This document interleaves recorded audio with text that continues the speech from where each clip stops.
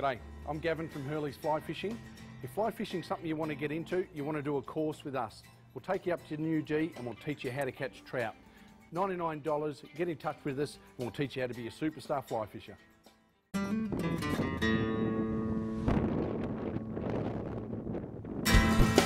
Yep.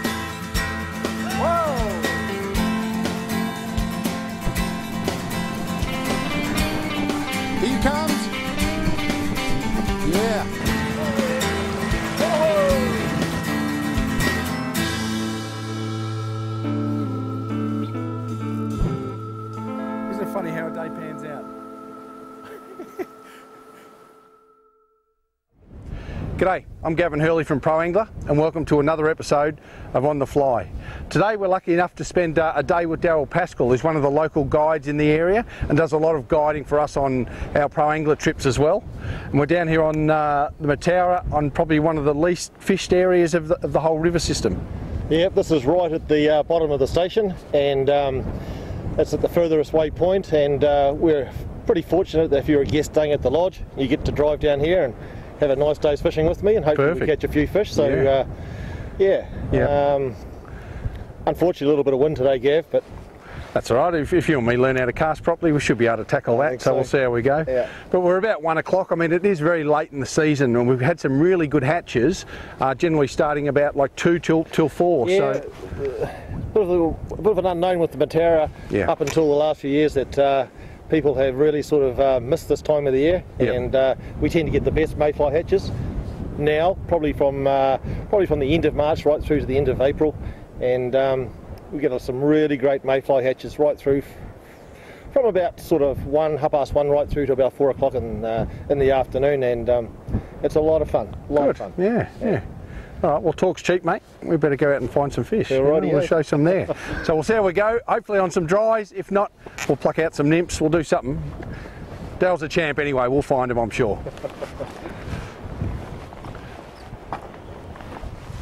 So with all the spotting, what Daryl's doing now, he'll be walking up here looking for uh, shapes that obviously elongated like a trout. Hopefully a different colour, might be black or brown or uh, just even just a, a different sort of uh, a blemish that looks uh, unnaturally there. And uh, could could quite often be a rock which has happened so often but a lot of the time as well. And Daryl's got excellent eyes because he funny enough does it for a living. It will be a fish.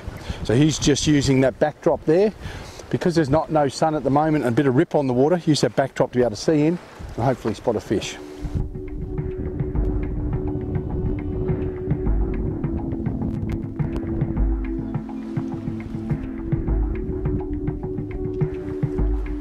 Not long after the guys had started their walk upstream, the reliably unreliable New Zealand weather changed for the worse, and as Daryl headed back to the car to grab his rain jacket, Gav hooked into the first fish of the day.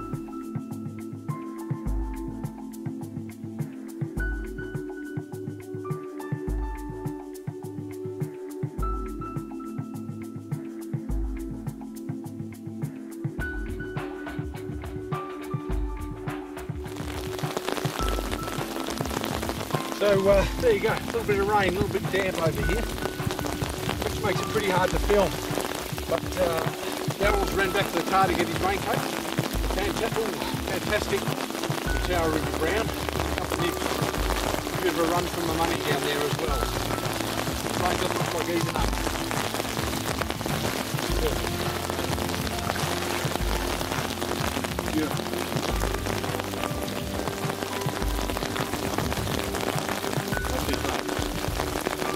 As you can see, the rain sort of slowed up a bit, but the cloud cover's still there, which is great for, for a really good dun hatch. It keeps the duns on the water for longer.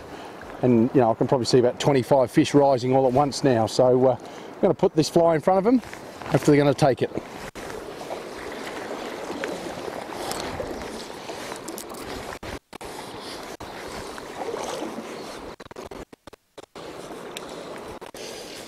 Just been walking up here, there's fish all over the place and uh, we've had a couple of refusals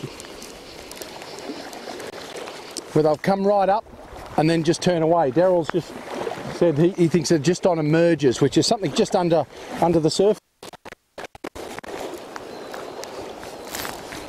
But this one, he liked the uh, the Adams parachute, so uh, it's good. It's good when a plan comes together. Even a little bit of rain, fish are already wet. Doesn't really matter. And you get him on the dry, he's perfect.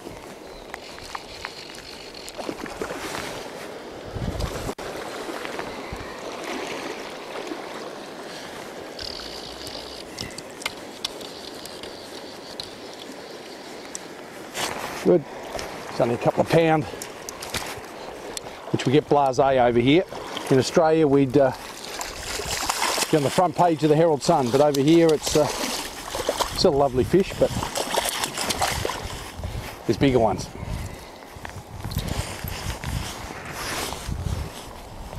Him out, lovely fish. He's probably three pound. He's just bad as anything. Great fish on the Mataura. Put him back in perfect, good to go again. So uh, Daryl assures me some bigger ones up here, so we're just going to find them now.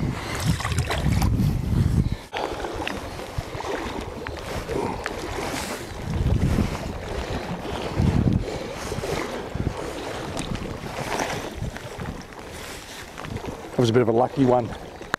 Normally takes a few more casts to get him than that, and he's actually just showing off now anyway. So.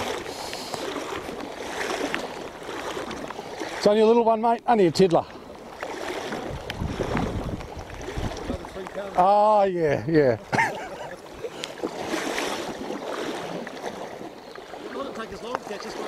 no, well, I was just going to say, lucky cast first off, wasn't it?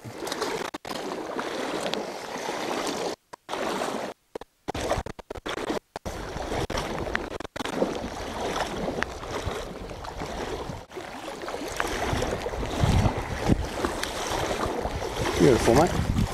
Excellent. Well done. Good job. Just two casts? Three. Three, three casts. Well, there you go. Yeah. Will you hold that? Hold that. I'll, I'll take the fly out of it. Beauty.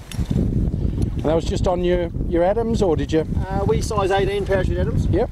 Sort of doubles as a as a, um, a dun and an emerger, so Sure. works pretty good. As long as you don't get them too big, you know. The, the, the fly itself? Yeah. Yeah, okay. Yep. Yeah, just a nice little fish. Yeah. Two, two You see the colours in that? I mean, that, that's, yeah, Yeah, just stunning. nice. Just for a good little Mataura brown. Away he goes. Perfect. Do that again. Shall I do it again? Yeah, yeah. How hard could it be? So it's an 18. Yeah, that's a wee one, yeah. So I've had a couple of refusals and uh, first time ever somebody said it was too big. So I've put on a size 18, which hopefully they'll uh, they'll take. Hopefully. Hopefully, yeah. I think a lot of the secret to, to catching these Mataura fish is having the ability to put the fly right in front of the fish too. Yeah. If you put it up too far in front, especially in the slower water, um, we got a lot of time to think about it, you know. Sure. Put it a foot in front of them, you get an instinctive reaction from them and Yeah, try to get them coming up straight away. yeah.